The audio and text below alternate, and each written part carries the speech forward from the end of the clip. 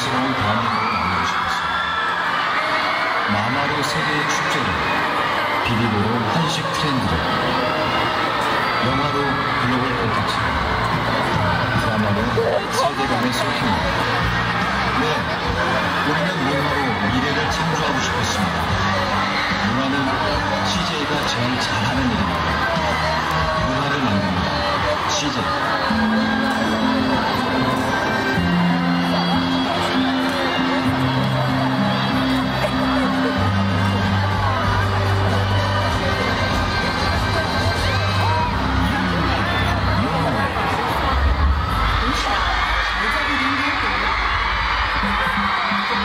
감사합니다.